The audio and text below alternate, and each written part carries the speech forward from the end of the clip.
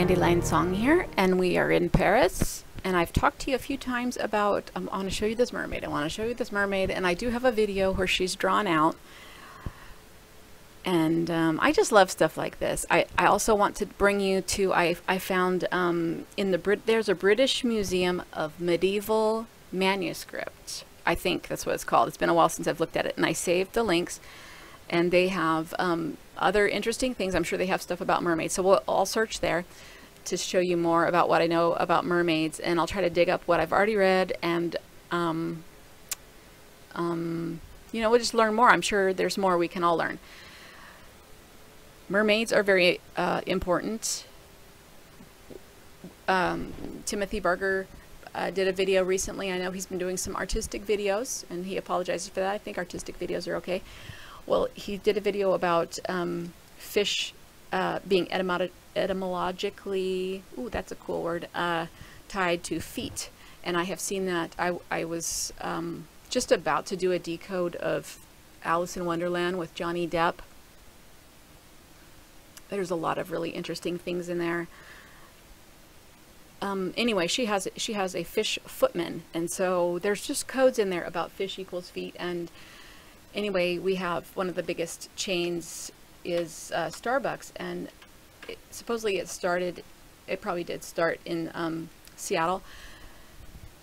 But the thing that a lot of people don't realize is they think that we live in a free market where something comes, something starts little and gets big because the people love it.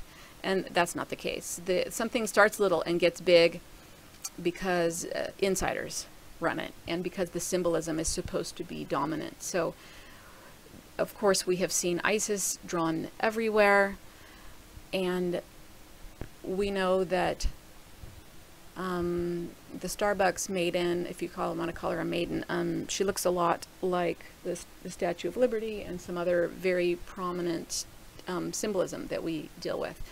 And she's obviously fish-footed. Uh, so um, the other thing I need to, I want to mention about these this um, this double this double serpent leg is that um, that's the that's the way that Typhon looked. And there's pictures of Typhon wearing the um, the hat that starts with a P, whose name I can never remember. That kind of hat, and that's the Santa hat. And um, anyway, this symbolism and these characters are very important still today. The other major double-legged figure is uh, Abraxas, which is the source of the um, magical spoken word, which is um, also associated with Enoch. Now, I have talked, I, and I, I've talked to, and I do respect the view of different people who have studied the Enoch Abraxas connection, and there are people who think that they're, they are two different people. So uh, we just take all those views into consideration, but um, Enoch very well might be one of these um, double serpent-legged um, characters. Now, if we try to think from more of a galactic citizen type of view, just because someone has two serpent legs doesn't necessarily mean, mean they're bad. It means they're a different species. Okay, so we do need to judge discern, not judge. Uh, let's talk about the difference between judging and discerning. Judging is where you automatically condemn someone based on what you see. Like you're like, oh, they're lost, or they don't have a chance, or whatever they say isn't worth listening to because of this. That's judging. Discerning is where you think, well, they said this, and then they said that, and they do have two serpent legs. So I am leaning towards that I probably shouldn't listen to them. However, I'm going to um, keep sorting out the information. That's discernment. So that's the difference between judging and discerning. I do believe that discerning is very important. Judging ties you, it shackles you to, to it shackles you and blinds you at the same time. Okay, well anyway, I have a Paris tilted here like this because this is the best way to see this mermaid. And you're probably looking at it going, I still don't see the mermaid, Dandilion. Now I've showed you the lady here with her head. Here's her hair. She has all this. She also she she could either see her as having a Marge Simpson type of hairdo, one of these royal updos, or you could see her in terms of the mermaid. You could see all of these flowing lines being her hair, um, and her arms are the river. And I've showed you the one where she's holding a weapon, more of the Princess Leia type of person, who has this uh, hermaphroditic aspect to her right here. We've talked about that before. Now, this mermaid person, um, I do want to decode this. I want to understand why Starbucks is a mermaid, and I want to understand how what that has to do with the life of Melusine in France. France has so many amazing mysteries in it. I wish I didn't learn American history, which was all Disney anyway. I wish I learned French history and like real French history. So, uh, some different sources that I have found, and hopefully I'll find some of them, regard the Melusine um, uh, information not as myth, but as fact. And there, in some sources, they say that there were 30 eyewitnesses that saw her shapeshift um, into a flying amphibious dragon with two mermaid type of dragon legs. And she was uh, furious with her husband at the time because he uh, not only defied their agreement that he wouldn't um, walk in on her bath, but then he um, talked about her behind her back. And you just don't want to do that to a woman, and you especially don't want to do that to a woman who can change into a dragon. So anyway, she was behind him when he said that, apparently, to his uh, court. I guess he was a royal or a duke or something like that. I can't remember now. And so anyway, I guess uh, she flew into such a rage she couldn't help it. She had to, she literally flew into her dragon form and, and delivered a threat to him and his descendants having to do with walking underneath her sign. Um, and then she flew away. Supposedly she took her daughters to uh, Avalon, which um, a lot of people now believe that that is Glastonbury. Well, so there's that story. So I do want to, you know, dig more into that. I don't think it's the most urgent thing, except for that Starbucks also has that green color that is associated with Ebola and other kind of health threats. It's a coded, it's a coded Kabbalistic color. Not saying that the color green itself is bad. However, because um, trees are green and trees are good. However, because of the way the way that vision works, the reason why trees are green is because they reject the wavelength of green. Okay? So that's why they're green. So all that symbolism is important in our world. So if you're green, that means you reject the wavelength of green. So that therefore you reflect it. Okay, I want to show you this lady. Now, um, I'm a little confused about where her arms are because because here's her head over here and she has more or less the same torso as the Eiffel Tower man which has the Orion in it and here's one of her arms. I have it tilted because you can see it better this way than you can straight on, but I'll show you straight on in a minute. So this is this could be her this would be her right arm. See? Right here. Um, this is the face of Isis. Oh, no, wait. This is the face of Isis. Let me show you. Here's here's Isis's forehead. And uh, Isis's nose, if you zoom out, they draw a yellow line right here. It goes to here, come back, and then here is her mouth. They, they take a little time to draw this little extra yellow mouth right here, and here's her chin. And we know that she's the spoken word and the mouth. Now we know more about what they mean by mouth and the flow of the mouth. And we can see that there's kind of a flow of a interstate here. So this would be their man-made river that they put right here. But we also have the Seine, that's another river and I'd like I'd love it. See if I had a little quick gematria counter, I could just put it up on this page and gematria sin because I would like to know Seine, I'd like to know those things on the fly, really. If I had a gematria counter, you know, it'd be great. I could just like have an app, I'd just click on I'd right click on this and then it would pop up that gematria for me right here on this page. So there's probably some computer genius out there listening to me thinking, what should my next project be? Hmm. And then they're going to say, oh, that is a good idea, Dandilion. You know, in my life, in my regular life, I give away million dollar ideas every day because it depends on who's next to me and then I'll just get an idea and I know that the idea is for them so I give it to them because I'm not really huge on following through on those things. Well, there's her arm. Okay, here's her, here's her, uh, this would be her right arm, and then her left arm. It could either be the, the river, or it could be this, or it could be in time lapse. Okay, so here's her left arm. It comes over here. Something like this. Um, down to Saint Sulpice is over here. Then here's her torso and then here's one of her legs. This will be, I guess, if she's if if she's facing forward, this will be her left leg. Comes over here. I'm going to follow it out for you so that you can see the fin. So I'm going to trace the fin right here. So this is her leg, comes right here, goes right here, goes over here, and comes back.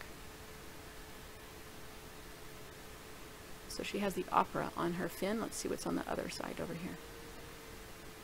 Um, Place Maubert is over there. All right, then this leg, here we go, to the other leg, to the other part of her mermaid self, comes over here, has like a university here. She's, what's the name of the university? Oh, maybe I'm wrong. All right, well, it comes over here,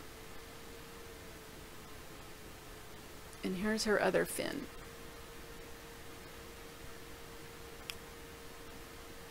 it's also totally possible that her legs go up because you can see right here. Watch this. Oh gosh I don't even know if you can see this. You're just going Dandilion would you just please draw it for me? I can't see it. Here's okay here's her right leg. So it comes up like this and it can come up here. You could see that right so there's there are fins along the way so it could stop here or it could continue and here's kind of a you know, a very fin-like looking fin up here.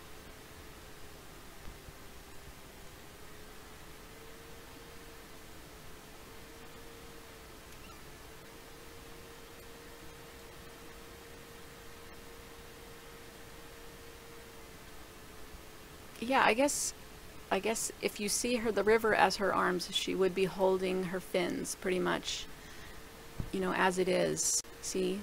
Here's the, here's the fin, as it is in the in the logo. All right. Well, um, I think I am going to take this side on because it. Oh, let's see a little. Let me let me show you from the top. It's a little harder to see from the top. Here's her head. Here's her body. Here's one of her legs. Comes over here, makes a fin. And here's another one of her legs. And comes over here and makes a fin over here.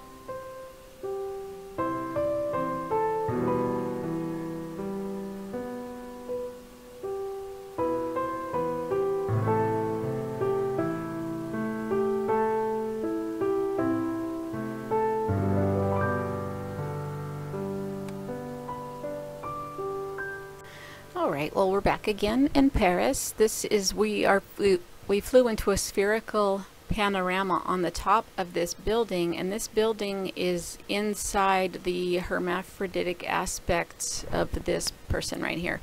And I covered that in another video. But I just had to show you this. Isn't this nice? Look, you get to look around Paris with no plane tickets. This is the train station we talked about in another video, um, the video where I showed you the woman in Paris who's holding a weapon. All of these shapes are meaningful. All of these headings are meaningful. I can't remember. I think I found these headings. I don't remember what they are.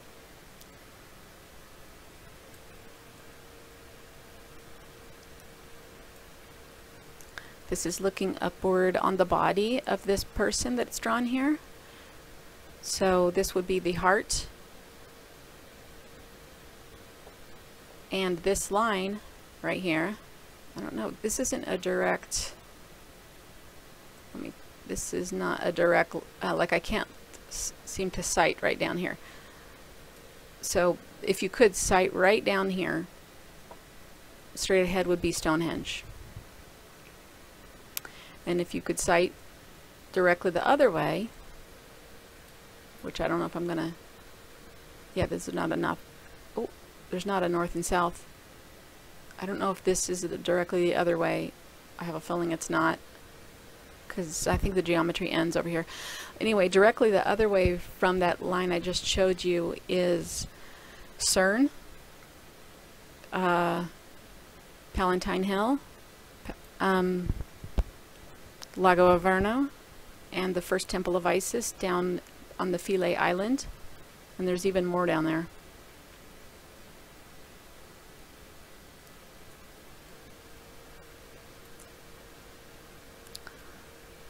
Hello to my French viewers. I didn't, I, I welcome you. I hope you can understand me. Probably you can understand me better than I could understand you. I, I've always wanted to speak French and uh, I do want to study that again. So this is on the arm of the the woman who's holding the weapon. This is on the arm. I don't know if it's going to let me zoom. Oh, it might let me zoom in. And I should know the name of this, but I've forgotten it. I think it's um, Napoleon, something to do with Napoleon. And I think there's some really nice places to visit in there.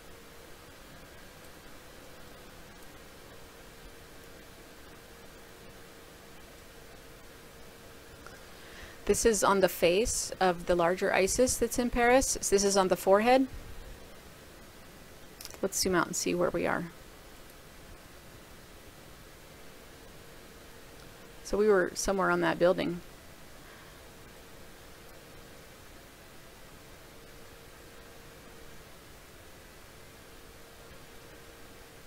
Oh, yeah, it goes this way.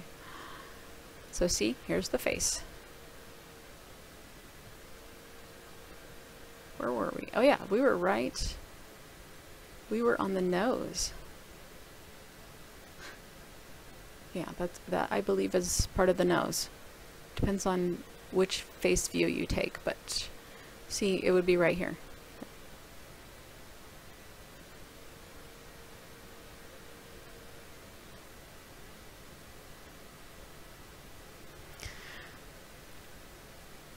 All right, so much to see here. All right, well, thanks for traveling with me, you guys. Talk to you soon.